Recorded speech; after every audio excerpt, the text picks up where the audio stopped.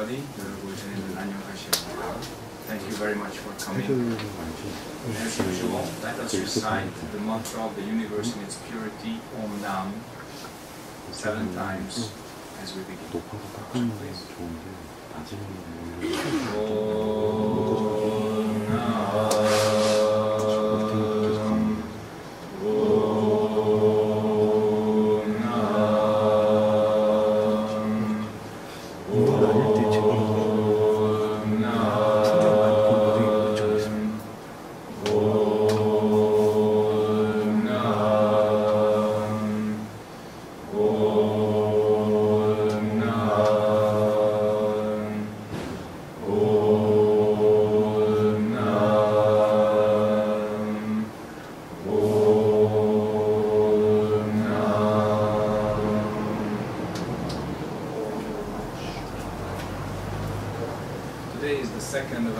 live series, Dharma Talks. And uh, we talk about the five desires that can easily become the five sicknesses. There's one medicine that each of us have to remedy them. Last time we mentioned you mm-hmm. know, what the anger, desire, you know, ignorance-based you know, sicknesses are. It was easy to see that without the five desires, human society doesn't operate. It doesn't hold together. When we talk about uh, fame, food, sex, sleep, you know, and money, these are somehow also the building blocks or the manifestations of energy that hold this human society together. And when you renounce society and you leave, then you can become completely free from all the five.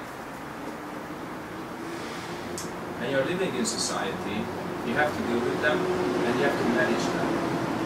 And we have to be totally and absolutely clear what these are and how they operate so that you will not be poisoned by these five, but somehow you could use them to live a correct life that helps not just you but also others.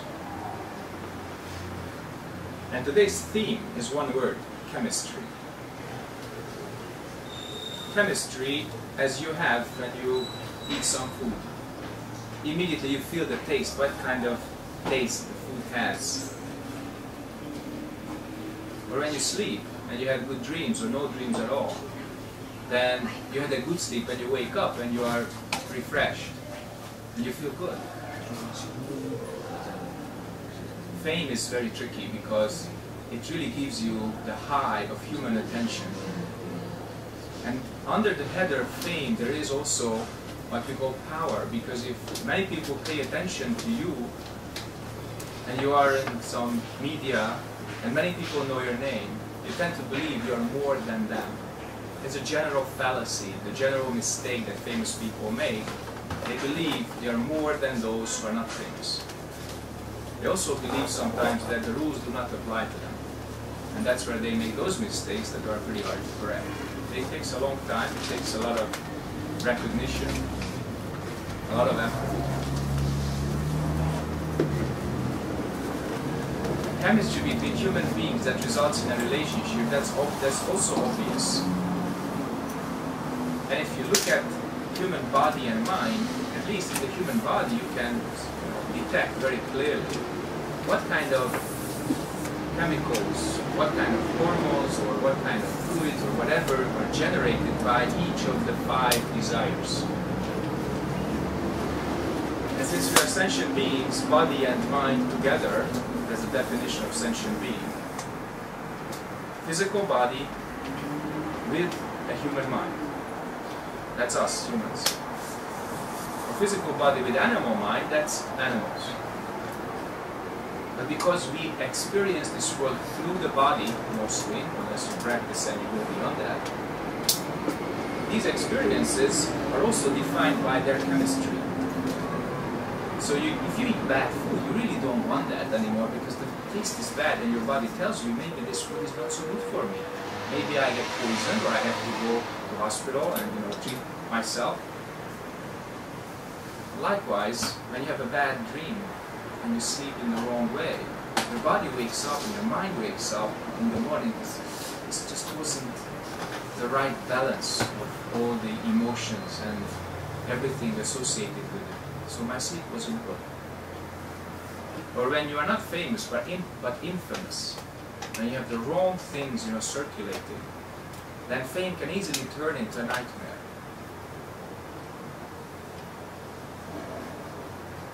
So you can see how chemistry operates. And we have to be aware of that. Why? Because these can have these kind of chemistry or chemical experiences, these can have very powerful effects on our lives. In other words, we can become dependent on them. Currently, psychology has a very interesting concept, relationship dependency. That you're totally dependent on a certain relationship, and without a certain person, you cannot imagine your life. You know, kids are attached to food, you know. I'm not sure what Korean kids are crazy about, but Hungarian kids, you know, were crazy about noodles. So if they didn't get at least a few dishes of noodles per week, they were very unhappy. But when, when we become adults, our behavior doesn't really change. We are still dependent.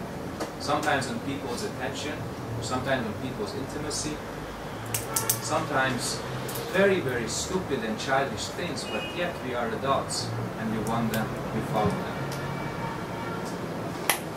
And if we cannot balance our chemistry, uh, what do we do? We take other chemicals called medication.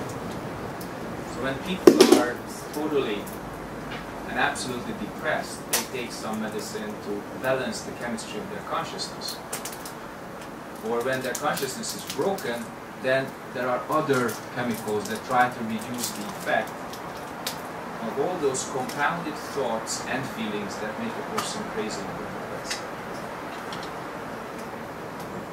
The message here today is that you cannot correct chemicals with chemicals. So if you do not have a good relationship and the chemistry between you and your significant other is bad, you cannot just take another medicine or alcohol or food or some other substances to correct that. Somehow we would have to go beyond this, whether we have hair on our heads or not.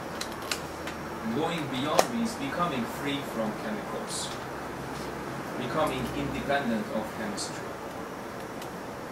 And this is not the exact same idea as, you know, complete detachment, seclusion, purity, sanctity, or all these high spiritual concepts, because these themselves have also some kind of I. The biggest fallacy or the mistake of the Arahant is that I am pure, or I am liberated. And as long as this I is there, there is no purity and there is no liberation. Have you asked yourselves, why do we have to be born so many times on this earth and maybe on some other places and in some other kinds of bodies? Why do we want the chemical experience again and again and again? I let you sit with this. Go deep inside and really find out what's the ultimate reason or the use of repeating these experiences, generating certain feelings, thoughts, experiences. Why? And if you look deep inside, you try to find what is it that generates this? What is it that goes through this?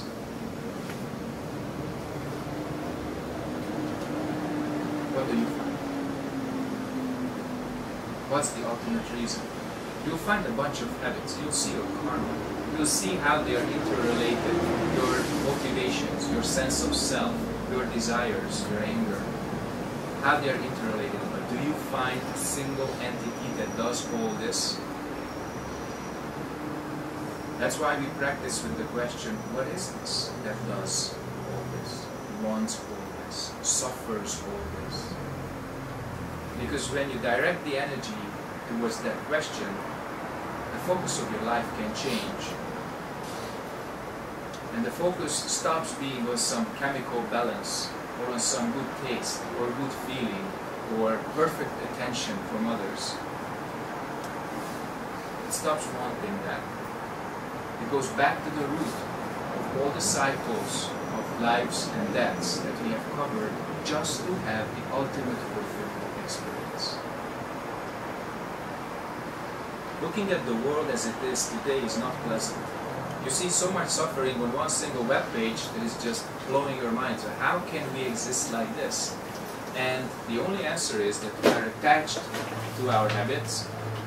We are attached to all the chemistry that we have between the world and us, other humans and us, and within our bodies. So if we were not attached to all this, we could become independent. But we human beings are extremely skillful at devising new ways of being dependent and making others dependent. So the Buddha's teaching just tells you about the five desires, but it doesn't tell you about internet, television, video games, etc., etc. So it seems that the more we evolve as human beings, and the more sophisticated material structures we can devise, the more sophisticated our mental dependencies become. Look at that. What did you need a thousand years ago to make a human being happy, one single human being? What did you need 500 years ago, 50 years ago, 5 years ago, and now? Drastically different. So, when human beings' minds were really more simple, maybe also more clear, but not much, then it was easier to become happy. Now, the chemistry is much more complicated because our thinking is a lot more complicated. So if you go back from the chemical experience, from the sensory experience, you take one more step back, you find the emotions that are satisfied by this chemistry, whatever it is in the five classic realms of desire. You take one more step back and there are the thoughts that plug into these emotions and find themselves warm, satisfied, homely, given refuge. And if you take one more step even deeper, you find a sense of self that generates all these based on previous habits, based on the past, generates a present and projects a future. And here the teaching says that if you do not return to the mind which is even before this thinking, we say in Zen, complete don't know. And you do not find the roots and cannot take out the root causes of the five desires. If you have five kinds of desire, you also have five kinds of anger when you don't get what you want. So look at the way we behave in these five realms, and we have the desire and anger associated with it. Two people love each other very much. They spend day and night together. They have wedlock, they have children, they have everything. And one day, something doesn't work out, and the desire energy that attracted them turns into anger. Big anger, small anger, doesn't matter. Sustained, complete detachment, or even harmful intentions towards one another. We call that poisoned relationship. And anybody who's an adult went through it either short time or long time. And went through the pain of releasing the bondage which seemed so wonderful at first, manageable in the middle, and untenable and completely incongruous at the end. If you reverse this towards the teaching of beginning and end, it works exactly in the same way. We begin something because we want to do it. We find a way to sustain it. And somehow when things fall apart, then we become upset, angry, and desire something else or someone else. And that relationship then ends and something new appears.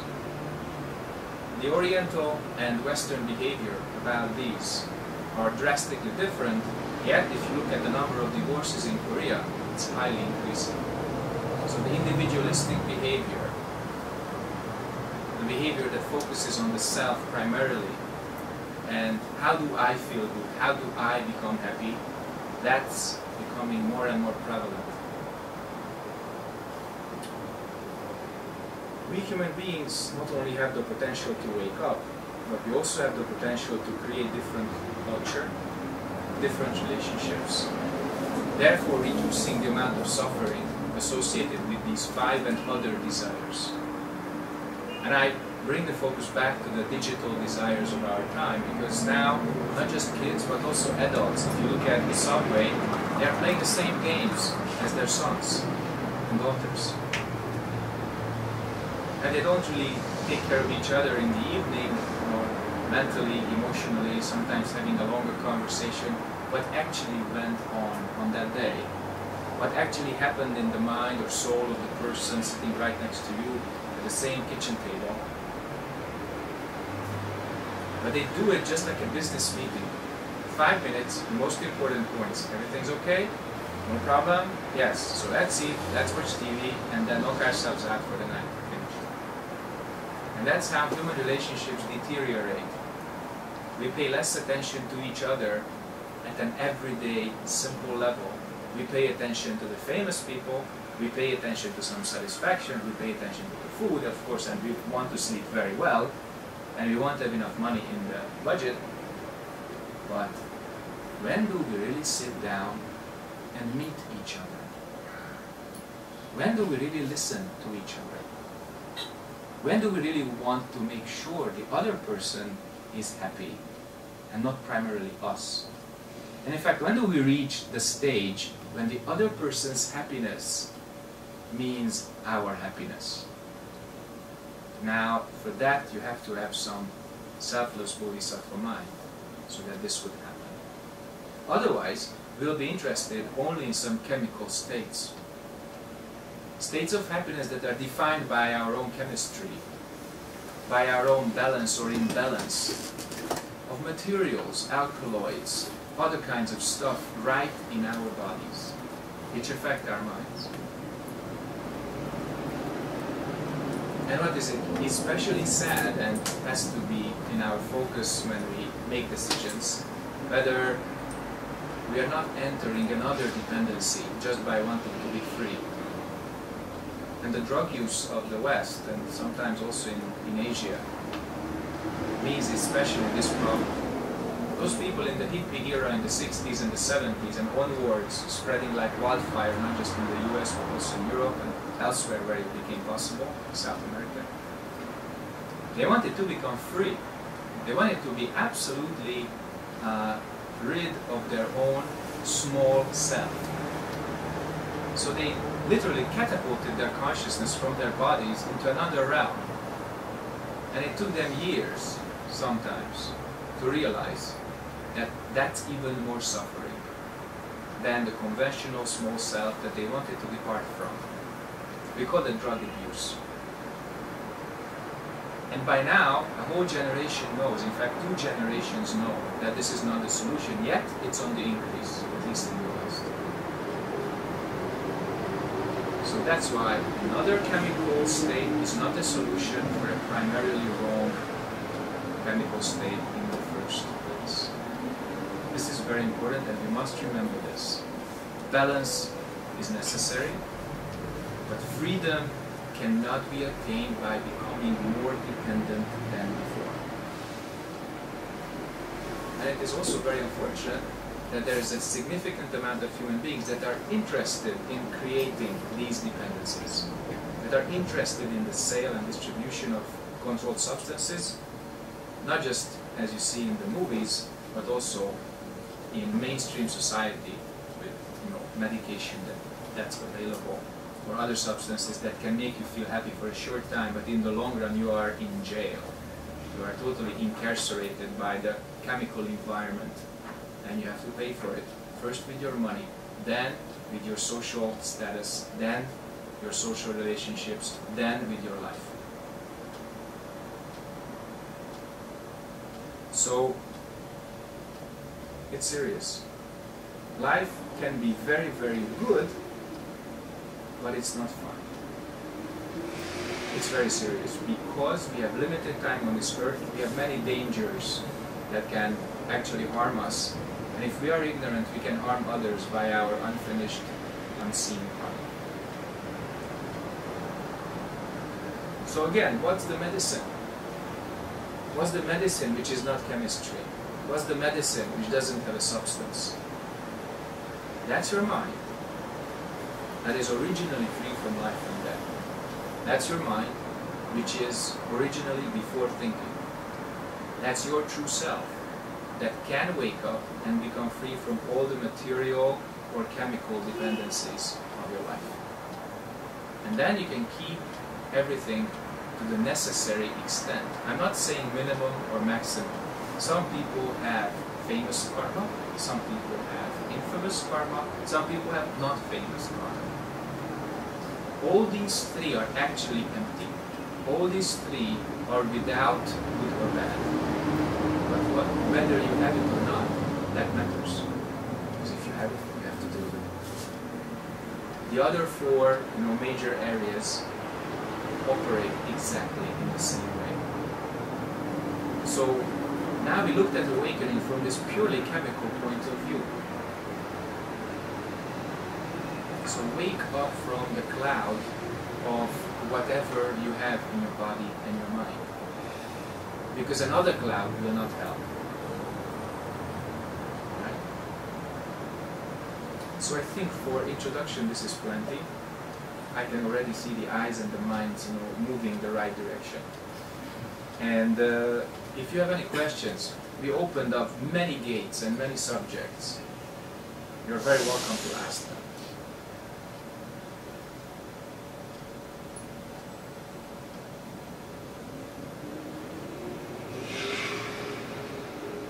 Yeah. Uh, can you, uh, for sure, the human is basically uh, consists of mind and then body. Maybe it can be one. If you control your body using the medicine, you can control your mind. For example, your brain, I mean, uh, can be uh, like controlled by some kind of medicine or some kind of acupuncture. So mind and then uh, uh, body, maybe I mean material things uh, is the basic, and the mind can be controlled by the I mean material uh, um, things. How can you sure human beings are basically consist of like Well, you've just said it. So if there are two things that can be controlled with chemicals, body and mind, then they must exist. And your question is whether they are one and the same or not. And uh, basically, I can give you one important example that happens about twice every second on this earth. It's death. So when we die, something's missing. But the body is there. So the body is there, but something is definitely missing. So whatever is missing makes us incapable of using our eyes, ears, nose, tongue, body, and thinking or brain anymore. So something's definitely not there. We can call that consciousness or mind. It's a very crude example, but it's undeniable. if your body is like die and then you I mean consciousness also I mean go away and then you your body go back to the nature and then nature itself repeat. Where does your consciousness go? I mean consciousness can be the reaction of the materials. I mean chemistry inside the body. Can be, but is it? I'm I don't know. I mean that's why I'm asking. Very good. Keep that door off. I'm, I'm asking how are you so sure? I mean our consciousness leave our body when we die and then go back to I mean take all the bodies and then live on again. How can you sure about that? Well, well I'm just a Buddhist monk. I mean, without that, can Buddhists, uh, I mean, survive? I mean, we, maybe we don't need that. I mean, for the Buddhism, I mean, Buddhism itself is very nice, and then meditation is also good. That is Why kind of method, mm, uh, like, uh, we don't need, do, do you really need that? I mean, to, that is like, mm, that's the main heart of the Buddhism, or? No. No, the main heart of Buddhism is asking the right question. That's why I asked, are you sure? The main question is, if there is a mind, what is it? But if there's no mind, then what is it that's speaking from your mouth? What is it that sees with your eyes, hears with your ears? What is it that thinks all your all your thoughts? What is it? Tell me. Can be chemical reaction. I'm not saying can be, can be chemical reaction, can be an act of God, can be put together by all the Buddhas and Bodhisattvas. I mean, we are very good at making concepts and making possibilities. It's exactly the experience that you are referring to, which I also believe that we need. And I also believe that you must ask the right question to get the right experience. So if there's a mind, what is it? Is there a mind? So what is what is it that thinks, mind or no mind? That's what we are looking for, right? Something thinks inside, otherwise it wouldn't happen, correct? You can direct your thoughts. What is it that directs your thoughts? What is it that directs your choices? What is it that tells you, okay, tonight we eat kimbap, tomorrow we eat japchae, next day we eat cheonggukjang. So what is it that you love it, huh? Me too. So what do you what is it that decides within you? I I cannot prove it. I mean, just believe. So belief cannot be enough. Of course. But do you need an external and material proof of something which is primarily not sensual and not material? How could you do that? So again, you have to ask the right question. If you want to have a scientific approach, which is primarily non-scientific, it's not going to work. It's like trying to drive with a car on a mountain path. You have no space. Okay? So, what is it that asks the question, mind or no mind? What is it that thinks with your mind, feels with your heart? And you don't have to be a Buddhist to find the answer as an experience to that. In fact, sometimes it's better not to have any religion, any belief at all. Just ask very sincerely inside and can make that your practice. I'm not going to tell you yes or no. Why would I? You have to wake up to your own answer. And when you do that, then you can come back here and say, Sunim, I found it. Then we check it out. Okay? More questions?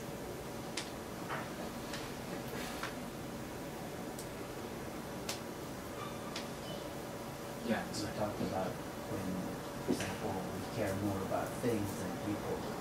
I guess it relates to the concept of compassion. Would you share some of your thoughts about compassion, the concept of compassion? Thank you. Uh, you opened up a wonderful subject about compassion. And uh, first of all, I have to say that we uh, need to clear up this concept of compassion pretty much. Especially for Westerners, the Oriental way of thinking about compassion is like a newborn child that has to be really washed up well and fed well and taken care of so it can become the correct adult person. Mostly, Westerners believe that feeling good things or having good emotions towards another person, that's compassion. It's true, but to a very little extent. Very little. Or compassion means that you give somebody something that they need. Like you see a beggar and you give them chonon or ochanon and then you did the right thing. Yeah, you did. You did. You did the right thing. But is that the entirety of compassion? And the answer is no, it's a very small part of it. So how can you grasp the entirety of compassion? Strangely enough, it doesn't come from emotions, it doesn't come from thinking, it comes from a much deeper experience, which our first question also referred to. Whatever we have as our deepest, truest self is exactly the same. Now, once you experience that, you have compassion. That your mind and my mind, your Buddha nature, my Buddha nature, all beings' Buddha nature is the same. And that is an experience which can only come through some realization, either formal practice or some break from the normal dualistic mind. When you have that, then you deeply experience that my substance and your substance is the same substance. So if your mind can really cut off dualistic thoughts and return to before thinking, dualistic emotions and return before feelings, then you can truly see and perceive and attain that your true self and all beings' true self is exactly the same. So, in other words, you and the world became one. You as a drop of water returned to the ocean. And you experienced the ocean because you became the ocean. And out of this deep experience comes everything else. Because if the beggar doesn't have food, you don't have food. If somebody's unhappy, you are unhappy. Somebody's harmed, you are harmed. So that's a very deep teaching on compassion, which is not based on emotions, not based on thinking. It's based on the attainment of our true nature, which is identical in each one of us. Otherwise, we couldn't get it, we couldn't attain it, and we couldn't feel compassionate to one another. It wouldn't work. This is not something that you can mentally generate the time. You can see the attitude of compassion, which is different from true compassion. Compassion is not an attitude. So, it's very simple. When people make compassion inside their minds, it usually ends up in disaster. They want to be compassionate based on some concept, and as we know it, the road to hell is paved with good intention. So why we actually get there, if we get there, is a deeper cause than just good intentions. So an awakened consciousness naturally manifests compassion because attain the highest and truest wisdom, which is our substance. When that happens, there's compassion without thinking, without making anything in your mind, without having a specific attitude or concept how I should behave to help this world. So that's why practicing is very important and don't expect, you know, this perfect and instantaneous thing right away because then you just frustrate yourself. I've been meditating for years and I still feel tremendously angry towards many people. Why does that happen? Well, maybe hundreds of lifetimes of habits do not disappear in just a few years. Maybe we have to have a very sustained and clear attitude and approach to practice, and that practice generates more than just an attitude, more than just a behavior pattern. So human beings are very easily conditioned on the surface. You know, you can put on a new makeup, a mask, or whatever, and you look at the mirror. Wow, I'm a different person. The makeup is gone, the mask is taken off, and the same old thing is staring back at you. Well, that's what we are dealing with when we are practicing. And that's why many people don't like practicing because you see the same old thing, always, all the time. But somehow something does happen. Because as you see it, you disengage from it, you stop being identified with it, you, you do not attach to it anymore. And when that mind baggage, that trash, that karma which is really burdening you is gone, you become more free, more authentic, more yourself. And not your perceived ego as self, but your true self, which has no I, no me, no mine. When that happens, compassion naturally manifests because you cannot not help. It comes. And that's what we are looking for. Every single walk of life in any society, true compassion is based on this substantial experience and heart-to-heart relationship, not on some kind of concept which is verified by a bureau as a budget, goes there and somehow weapons appear in a few months because you can't do what you want. So compassion is more than emotions, more than thoughts, and it's not just you know an action. Sometimes really listening to somebody and having a clear mirror-like consciousness and that very, very tender heart is just what's necessary to fix the relationship. What you cannot fix with talking, you have to fix with silence. So compassion has many, many ways of manifesting, but can only be genuine by a genuine experience of non-self. The new and this world become one, and spontaneously, without thinking, we're helping once and both mind appears. Thank you for your question. Yes. Oh yeah, um, I was uh, just thinking about everything that's been said so far. Um, you know, we said we were talking about the spiritual rebirth, and um, Do you know- we? well, no, we were. Somebody was talking about Oh, the, yeah. The rebirth. Uh, you know, and it, it was a big topic. Yeah, you hit a couple points on there, and I was thinking, wow, you know, the the the, the odds of reborn, uh, of a person dying and then being reborn is, you know, on Earth we think, you know, of it as, you know, a shutout. You know, it's like maybe a trillion to one that, you know, after after we die or whatever, we're just it's you know it's we're gone. You know, we're history. Uh, we're the, we're on the History Channel. But then what I'm thinking is, why is it? Why are these odds so bad? Why is the odds of rebirth, more rebirth so bad? Well, then I then I was kept on listening you talk. I was thinking, okay, this gentleman was asking you about the reborn issue of the spiritual life, and when I was trying to think, I was thinking about the, uh, a boat, you know, just a little boat on the water.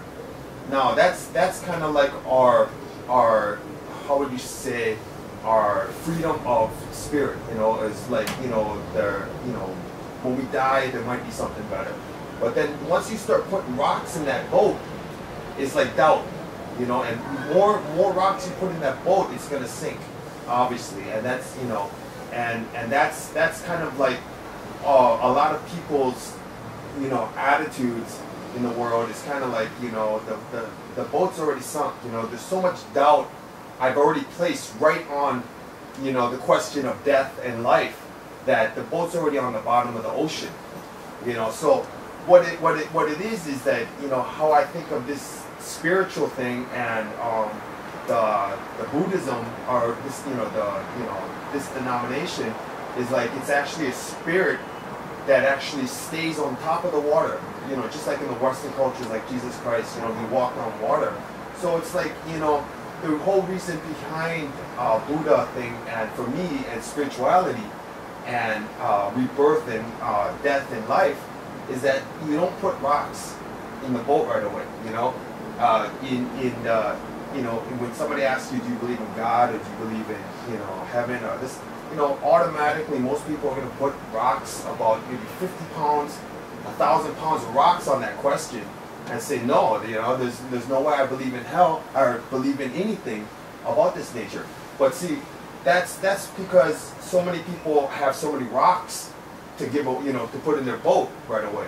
So the whole the whole question is that okay, if I'm going to take my boat from this from A to B from across the water, you know, you can't put any rocks in there. You know, and that's like this journey between, you know, like the King Tut, you know, a journey from from the life to the af- to death to afterlife. You know, this ship has to go, you know, sails from death to another life. And once I start putting rocks in that boat, it's not going to go across. Okay. What's So, your yeah. question? Oh no no. So that that's basically the the whole philosophy behind the doubt in with the We already understand the that. Yes. But sorry. we need we need your question to begin with. Oh, okay. The, no, the, the question I was just trying to simulate with the, the conversation. You have to do your job as an audience so that Yeah. I can do my job as a speaker. Alright. So rehashing his philosophy is Yeah. great Yeah. with a cup of tea. Yes. But I need your question and openness to be able to answer. You have said plenty. Yeah. Respond to Oh that. no no no! I was just trying to So- with the conversation that we were that was taking place. Sorry. So basically, the rocks in the boat are all the wrong views that bind you down. But if you want to use your metaphor really well, then it's point A to point B is not from death to another life or from life to death. It's really going beyond the cycle of life and death. Asking questions, actually, if you ask the right questions, Mm. it makes the load easier because the rocks are the wrong views and the questions are actually the hand that lift those rocks examine them and they say this is not part of the book, it's some dead weight. So you throw your wrong views into the water. Likewise if you say there is mind wrong view. If you say there is no mind it's also wrong view throw that away. The correct question is there mind or not? Or what is it that asks this question? That's a question which throws all the wrong views out and keeps the boat very light. Not only that, it can blow all the wrong views, it can take out all the ballast weight or the dead weight, and after a while, as you also hinted at, you won't need the boat. You can just cruise and you are above the water of life and death, you go beyond you know, the forced existence in the six realms. It is possible, but for that, a question is necessary. So the doubts, the doubts are very correct. But what's the response to the doubt? Usually, people make up things when they don't know it. Okay? And when you make it up, instead of verified by some experience, then it becomes dead weight because it's not true. It's an idea. So the idea of Buddha, the idea of God, the idea of perfection, the idea of nirvana, it's all dead weight. And Zen means take that away. And when you do, your boat becomes super light and it cruises absolutely smooth on the water.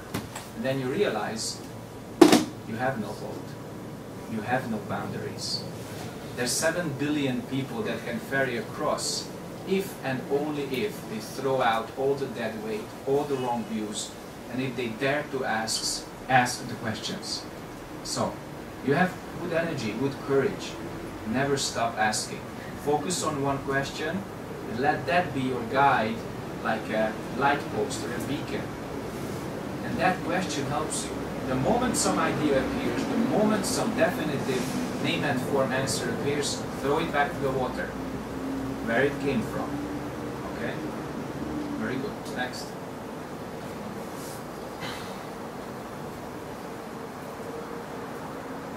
Any kind of question is good. You don't have to be a Buddhist, or a materialist, a believer, or a non-believer.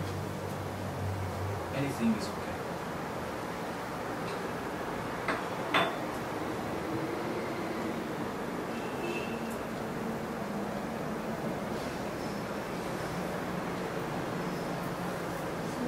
Yes. Uh, you might watch uh, BBC, News showing one monk reveal uh, the monks are playing like card games and drink alcohol and Yeah. to mass media. Yeah. It's very controversial at Mhm. the moment.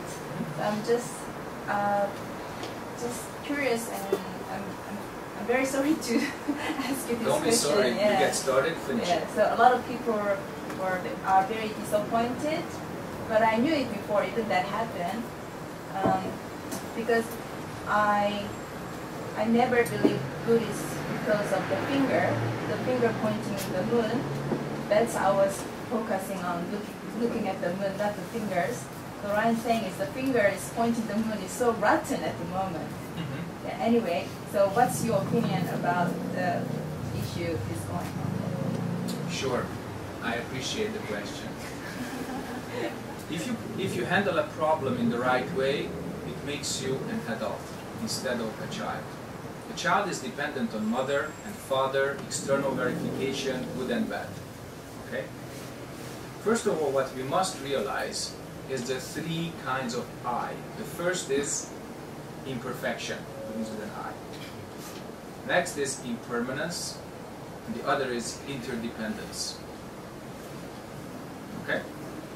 So there's nobody as a single person and no organization that will ever be perfect. So the imperfection of individuals as well as an organization were exposed. Are they alone with that? Are they the only one? And everything and everyone else is perfect. So it's a general human situation. People love to see things the way they want to see them, and when reality comes in, it's a, oh my God, what happened? Well, up. We are living in an imperfect, impermanent, and interdependent world.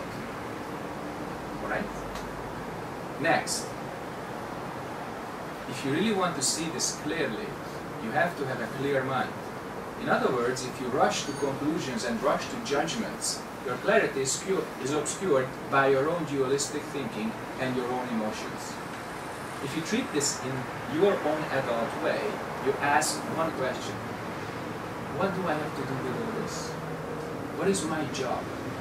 What is my relationship in this situation? Can I help them? Or I can only help myself? So, we are dependent on each other's approval.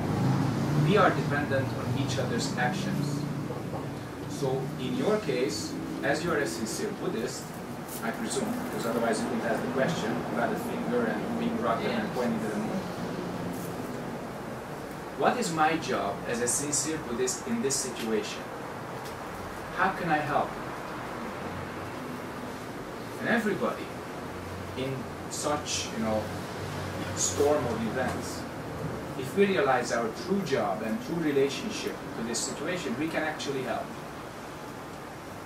I learned one thing in Korea. It's an old Confucianist, you know, approach to anything like this. It's it was a shock to Westerners when we first learned about this. But when you see anything which is really controversial, really giving space to judgments, then you ask, where is my mistake? Where is my mistake? This is not a guilt trip. This is not diverting the subject. This is not shifting focus. This is using your situation or the surrounding situation to become an adult, to become really a more awakened person. So, where's my mistake? And once you find it and correct that, you became a better person, and in fact, the situation helped you. Those monks doing all those things, they helped you. But if you don't, you rush to judgments and conclusions and etc. etc. Then you made your situation worse. You actually downgraded your own path. I'm not saying there was no mistake there, but if you're attached to that mistake, that mistake you know kills you. That mistake can kill your path. So, what can you actually do? You can associate with people that you trust, and you can do things that you have reason to believe in. And I wish that all of us would have the courage to do so and continue to do so. So if you can spare yourself from your own guilt trip or judging others, if you can spare yourself from becoming totally dualistic, good and bad, about situations outside, you can also do that, non-judgmental, clear consciousness inside. Was there a mistake? Yes, there was. Can you correct it? No, only they can correct it. So, staying absolutely clear about this, seeing your own situation and your own relationship, you can have correct function here and you can use their mistake so that you grow on the path. If you're attached to the mistake, then that can kill you. That can downgrade your path because you make more suffering for yourself and others. Okay? I don't suffer. No, I just I'm not saying you do, but you can if you relate to this in the wrong way. If not, you can help others. And you can even help them, although indirectly. Following that question, I just thrown this. How do you, well, I'm not yet, but how, how do you differentiate guilt from shame? Oh. Basically, compared to shame, guilt is very objective. There's a very clear line of cause and effect, and guilt can be established or a mistake. I actually do not use these, these terms too much, but shame is an emotional state. Sometimes you can be ashamed even when there is no guilt. And some people are not ashamed even when they are guilty. Okay? So shame is a negative emotional reaction when you downgrade yourself and your self-esteem is very low and you feel very bad and you don't want to show your face. Sometimes you see on Korean television, you know, even we don't know whether they are guilty or not, but they're just captured on camera uh, with some cardboard boxes, and as they are hauled out, you know, they cover their face and they, they go like that completely, and they don't want to show their faces because we don't know whether they are guilty or not. I mean, the best was that I'll never forget this. We are in some Mogyokdang, you know, finishing our bath, and we feel very happy. And and you know, in every Mogyokdang there's a television, and it goes on, and the sa- Sajangnim is sitting there, you know, waiting the whole day. And what happened was that there was a, an arrest, and this arrest took place in an office. And all you saw was people lying flat on the couch, covering their entire heads with their shirts or coats. And all you saw is it, it was like a science fiction movie with a special bacteria where everybody died flat on the table. and all they could shoot was people, you know, hunched over their desks, and that's it. Finished. That's shame. And guilt is something that you admit that you have done wrong. Do you need a separate Buddhist point of view? Yeah. I'm sorry, I can't give you that. I mean, there are so many books. If you want Buddhist concept, I'm, I'm just giving you the general. the general, which is what I feel. I feel Yeah. the same way. But what if you looking at this?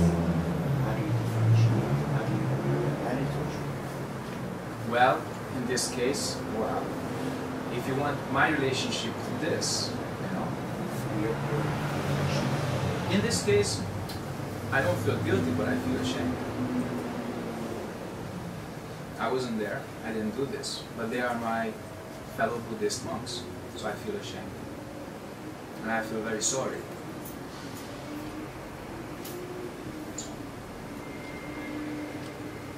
More?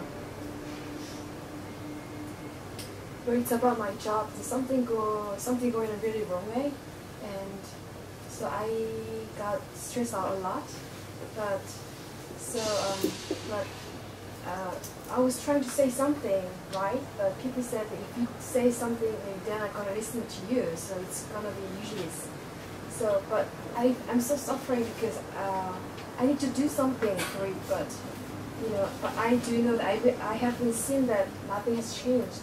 Even you know, when some people are about talking about it. So, um, so do you think that uh, if there is no any, uh, there uh, if there won't, uh, won't be any changes, that do I have to do something right in my uh, workplace? What you ask is very general. If you ask a general question, you get a general answer. If you want to be more specific, I don't want to know names, I'm not interested in personal details, but if you give me kind of more bony question that means more concrete, I can give you a more complete answer.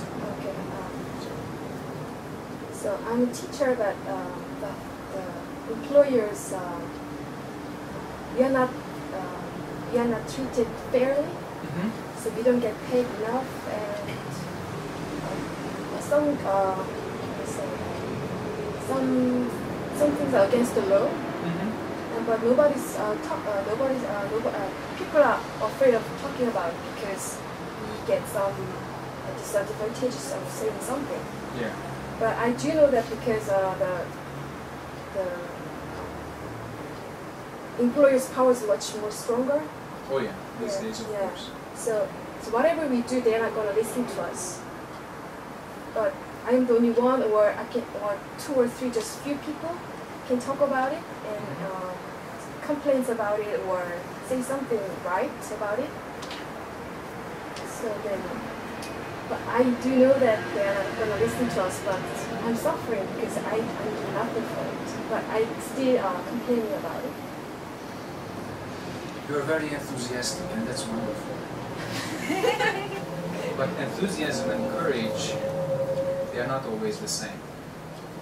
So to be courageous, you have to have some kind of clear approach to this whole situation. First of all, is this job important for you? That means, can you afford to lose it or not? That's something you have to answer for yourself. Number two, it matters a lot whether you are alone or already two or three people share your views. And the other third question that I would like you to focus on, you said some people are afraid to talk about it. Are these the employers or the employees? There's a huge difference between them. In other words, is the management accessible? At least do they listen or do they at least pretend to listen? Or there's a complete stone wall that you don't get an appointment, your, your letters are not answered, whatever. So you have to really see your purpose with this and what you can afford to lose doing this or achieving this purpose. I'm not saying that you have to have a mass demonstration near Gwanghwamun, you know, but you need allies, you need friends, you need people you can trust. And if that happens, then that environment as it is is ripe for a change. This ripeness is in the minds and hearts. If people don't trust your views and therefore don't trust you, if people don't want to follow the direction that you know could be worked out by some common process, that means they haven't woken up to certain things. Either they haven't woken up to this suffering, which you already experienced, or they haven't woken up to the potential to change it. So maybe more suffering is necessary. So what is the threshold when they say, I had enough? This cannot go on like this anymore. Finish it.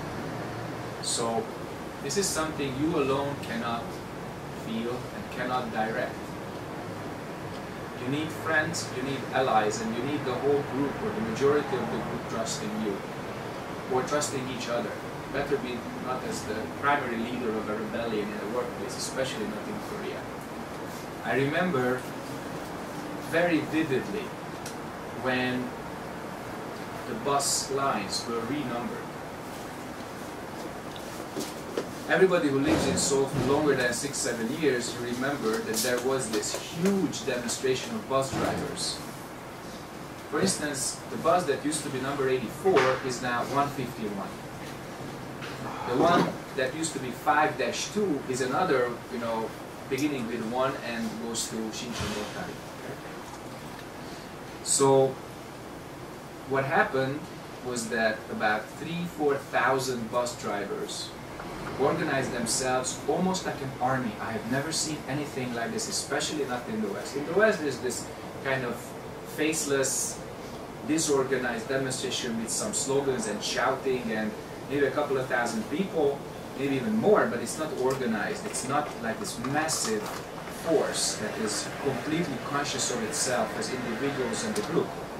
But here, I'll never forget, we were invited to a Buddhist opera, this Buddhist performance of Ichadon. You know, remember that, this Buddhist saint? And uh, the theater was near Dongguk University. And as we got out of the subway, there was tear gas. Tear gas. And we went up, and we couldn't believe it. The whole thing looked like a battlefield, and people with red headbands and white writing on the headbands with steel sticks this long, they were running, marching like a, like a military unit. And they set things, you know, not everything on fire, but they had fires burning where they warmed themselves. It was many days, like three, four days. And they marched like an army. They acted completely in an organized way. I've never seen anything like this. A unit of like 20, 30 people in rows of three. They were just like a tank right next to us. They were commanded, you know, to go somewhere. Another was just standing by, hundreds of people with steel sticks on the right, you know, to protect themselves against the police vehicles. And that's the demonstration. And what happened? Bus lines were renumbered. There was a deal made above their heads. The demonstration was called off. Everybody went back to work. They restored the park. The fires were out. The headbands were taken off. Finished. I'm not saying this is not an option. Usually, revolution is not an evolution. Somehow human beings make. Somehow we cannot live without manifesting our own frustration or anger or discontent, however you know organized it was, because there was no property damaged, there was nobody injured or let alone killed. So it was a very high class demonstration in that sense. There was, of course, big cleanup to be done, but no property damage and no human injuries. Nothing. Alright? But what did they achieve? They achieved that they showed their strength, and I remember it right now, you know, many years you know, down the line. But they couldn't stop the renumbering of the lines.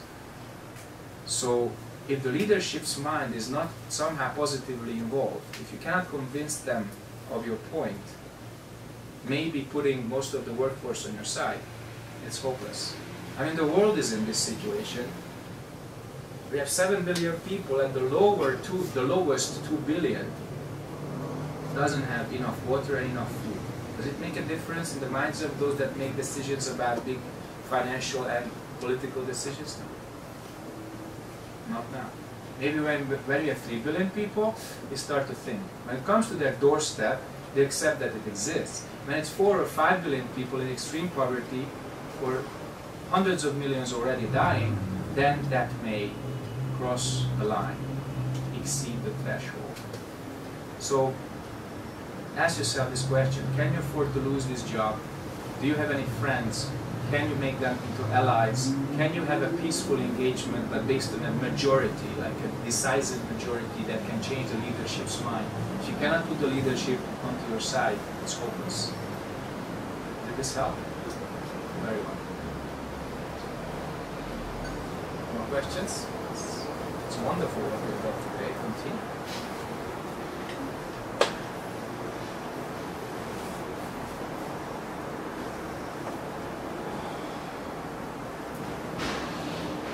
Yes. Don't be sorry. Go ahead.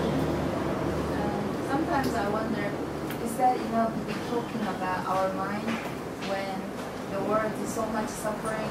Sometimes I think it's better we focus on how we change the structure and the system. And, you know, like, like speaking, uh, her question remind me that this whole world uh, controlled by people who doesn't care about other people suffering, and they got the power, they got the political and economic power to just be mentioned now. And so, what about we focus on get rid of them? Yeah. know? And then what happens? And but the thing is, it never works because we don't have any power. If we try to do something like she talking about, they threaten us that we might lose job. Yes, because everybody has, especially not me, but a lot of people has to need a job to support their parents or kids. So job is like essential. It's like uh, a key words for average people. So if the if we treated badly at work, if society is something terribly going on, I mean, in our heart we want to do something about it, but in reality we cannot do much because because for us is keeping the job is the most important things. I certainly believe people. you, but, but I, I also want to kind of put some light at your options because I believe in changes, although not external and not just society or social changes. Because my country especially went through many, many social changes in the last 150 years and we didn't become any better out of it. So that's why we focus on the mind, that the mind has to change, and that changes the notion of the individual, that changes the notion of family, that changes society as well. So there's no deep change, quality change inside the mind, you cannot change effectively society. Why? We had, sorry to be engaged in just in Hungarian history, we had the 1848 revolution against the Habsburgs. It was a mistake. We should have talked to them but they crushed us with some big Russian force. They invited 200,000 soldiers. Rebellion and revolution and war of independence was over. Eventually, in 1867, we made a complete social truce with them because we realized we are in such a situation that we cannot exist without one another. So we shook hands in 1867, almost 20 years later, and we created what we call the dualistic kingdom. Okay, so one empire, two kingdoms. It existed until the First World War. The First World War, somebody at near the end came up in 1919 with the idea of communism in Hungary. That communist republic was valid and alive for 133 days, but it did so much damage, it, it almost decapitated, you know, Hungary, Hungary's leadership, completely eroded its international stature, and uh, great losses, human and other losses came out of that. In the Second World War, Hungary wanted to get back its lost territories based on the First World War's peace treaties, peace treaties, and we got the wrong alliance. We sided with Nazi Germany at that time. That's not what people wanted, that's what the leadership wanted. So, based on that, we got really totally erased during the Second World War, and it was decided in Yalta that the Russians can come as far as Vienna, occupying Hungary, but not any further to the west. So by Russian influence, we became communists, just like North Korea became communist, you know, by Russian influence. All I'm talking about is social changes. 1956 we made a revolution because we really, really suffered. I mean, that's what I'm talking about when, when really there's no food, there's no hope, people are dirt poor, and jobs are very low, pays are very low, and there's not enough food or basic commodities in the shops. And people just went out to the streets they made a big revolution. Enough. What happened? 200,000 soldiers again came. They crushed the rebellion, reinstated socialism. It was a little bit lighter than before, better managed, new leadership with a different mind, but still socialist until 1989. So there was another change. We went back to democracy, and from 1990 we had a democratic constitution, which was changed more recently. After you know 22 years of apparent freedom, the country is in deep in debt, not as bad as Greece, but almost and we have serious negotiations with the IMF, and there's almost a very big social kind of discontent with the way things are. I just mentioned about four major changes in the last 150 years. Why did it not become better? Why? And the answer is in here. The quality of consciousness of not just the leadership, but the general population. So when we talk about dependence, we became dependent on other things than before, but the dependence didn't change. That's the problem. So there must be a change in the quality of consciousness or the clarity of mind. Otherwise, there are no meaningful, long-lasting changes. Okay? So that's why we talk about it. That's why we talk about the root cause. That's why we talk about consciousness. Because if the quality of our minds may not change, nothing changes. It seems to change, but it doesn't. In, in Buddhism, we call it one handle, going around, around, around. So, revolution, suppression, reformation, new system, then mistakes, suffering, more suffering, revolution, begin again. Give or take a few years or a few, or a few decades, same thing. So why are we doing this? Because we don't know any better. But if you practice and you bring out a different quality of consciousness, which is not thinking in cycles or dualistic things, then we can go straight. So when the great teachers only say, only go straight, that means not repeating the same mistake again and again and again in a cycle. Okay? That's why we have to practice, and that's why most people who realize this, they really go inside and try to make things different, try to improve themselves, try to bring about the more wise and more compassionate more consciousness. That's the only meaningful change you can make. That's the only thing that goes with you to next lifetime, if there is a next, next lifetime. If not, you just have fun. more questions? Yes. Uh, my mother's sisters uh, asked me favor to tell their children to study because they see their children not having very much interest in studies, rather in uh, famous uh, stars and televisions. Uh, so I tried to have talk with them, but uh, like I was trying to uh, see through their mind what they're having in so I can have some way to have some conversation to make them have mind to study. But uh, the, the only answer I could find for myself was that you can have, to search in your mind to know what you really want to do in your life and you have to find what kind of course you're going to take in the universe and the only thing I, I could find was that kind of that kind of answer but going to help. The famous people on television are stronger now. Okay, so you have to take them to a trip. Yeah. Just like the Buddha had his trip out of the palace, you have to offer these kids a ride. You don't have to go far. I was shocked many years ago when I was standing in a bus stop somewhere in Seoul.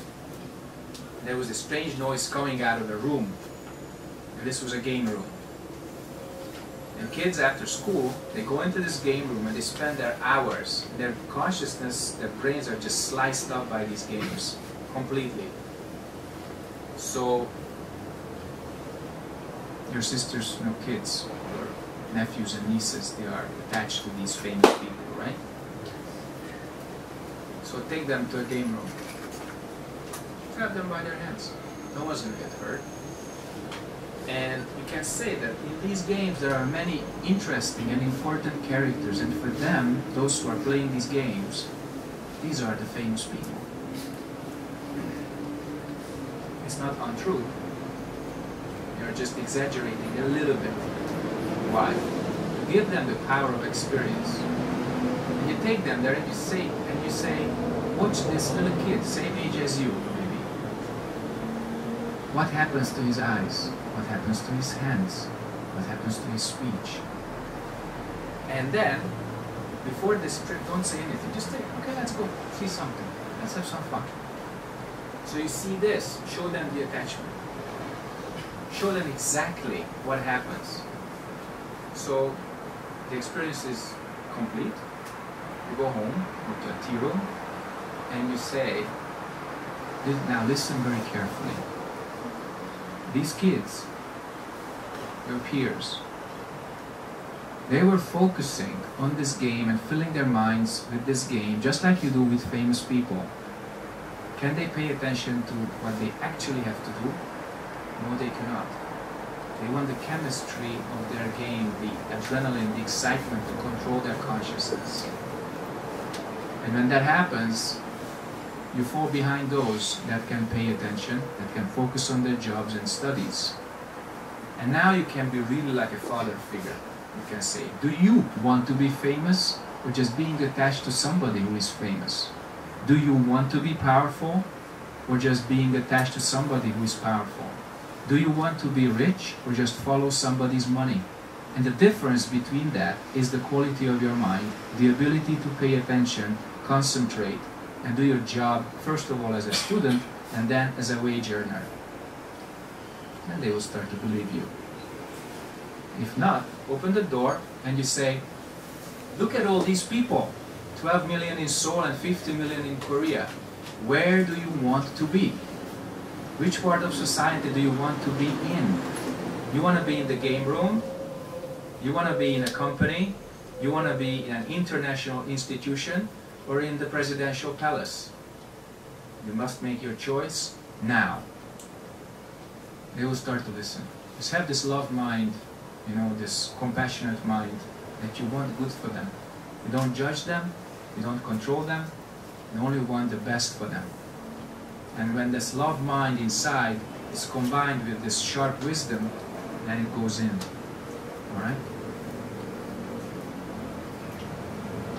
More questions?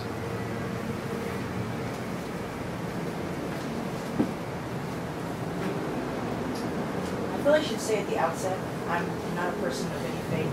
I kind of identify, I identify myself as a secular humanist. I read widely and variedly, have a deep appreciation for the power of knowledge and spiritual exploration. But you said something earlier that I was curious about. We're talking about repeating cycles and doing the same things poorly socially. How can you relate that to me, um, for me, for an individual, like myself, who has a very unfortunate habit of continuing to hurt people she cares about very much, and doing so in a perversely self-destructive way, and that I have this bad thing where I don't like being cared about too much. And so my way to react to that is to catapult people from my sphere of influence. What does your faith say about forgiveness, mostly forgiving yourself? Well, you, you just said it all. I mean, everything you need is in your question already, except you haven't put it into a functional unit. You haven't assembled it in a way that would work for your own liberation and people around you. So, what is the central idea that moves all these actions that you mentioned and poisons these relationships and go into self-destruct mode the moment there is some intimacy or there is something which you actually want but you reject right away? You have to see this for yourself, really, what it is. And you may need some consultancy or even some people who are knowledgeable about this, human relationships. And I don't want to define the job area, uh, neither Western nor Eastern, whether it's a monk or a psychologist or whatever. But you actually need friends who have very deep experience in this area and you trust them. Why? Human beings are not rational. We have this logical unit up here, but we are not rational. We are using our thinking sometimes in the most irrational way. Likewise, we have emotions. And these emotions mostly are about you know, associating with others, loving and being loved, but also we can use this really to hate. And sometimes in a nanosecond, the polarity switched from love and hate. So emotionally, we are also irrational.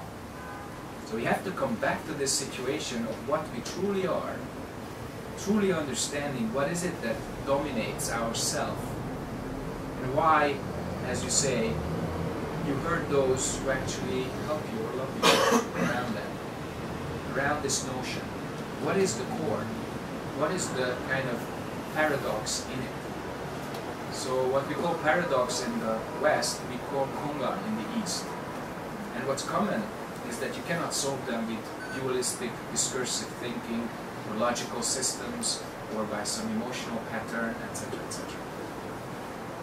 So I'm not just giving this back to you as only you know, because then I didn't help much.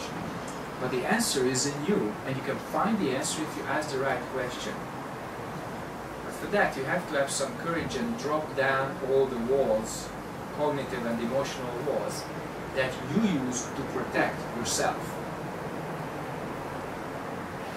Ask the question that goes through these walls. First of all, what is it that I really want with these relationships? What is it that I'm doing to these people? And why is it different from what I really want? If I tell myself that I want to hurt them, do I really mean that? What is it that I want from them and I don't get? What is it that I get from them but I don't want? So without any logical analysis, see it very clearly in the eyes, you know, of a normal human being, and a secular humanist is great, you know. That's enough. You don't have to be religious. And it's not my faith talking, it's me talking. It's different. There is no ideas, there's no beliefs. There are certain people with certain experiences that can help one another. That's it. So ask the right question, and the right question is, what am I really doing to these people? What is it that I want and I don't get? And I get, although I don't want it. And now we are touching upon the four smaller kinds of suffering. The four major is birth, old age, sickness, and death, and that's the four misfortunes, and if you deal with Buddhism, you know it. The four smaller kinds of suffering that the Buddha also talked about is also very important. Getting things that you don't want, not getting things that you want. Being in the company of those that you dislike and don't want, and not being in the company of those that you love and want. So, if you look at these four, that applies to your situation right now. And if you use the power of the truth, the power of the teaching you can unlock your own mystery inside. You can unlock this paradoxical mind and put everything clearly on the table. What is it that you are doing to yourself? And why? What is it that you are doing to others? And why? And what's the response? Usually at the central core of all these irrational patterns, there is a wrong view, an ignorant view, which makes it spinning around, around, around, around. Just like societies have revolution instead of evolution, human beings, you know, they get to know each other, they get married, it goes bad, they break up, they divorce, and they start sleeping with each other again. Why? They are used to it. So habit force, call that habit force. But what the habits are, you can only see them with your own questioning, clear mind. So put yourself before your own mirror, and that's that's what I'm called That's what I call practicing. Practicing is not just sitting like a Buddha, or doing vows, or chanting. Put yourself before your own mind mirror, and see it clearly, what's inside. And dare to see it. No religion, no science, no conceptual framework, nothing. Pure awareness. Without thinking, without any dualistic background, see clearly. What you have inside, what you are doing to yourself, and consequently what you are doing to other people and this world. Nothing and no one substitutes it. Religious behavior especially doesn't. Okay? Last two questions. Maybe last one, depending on what you ask.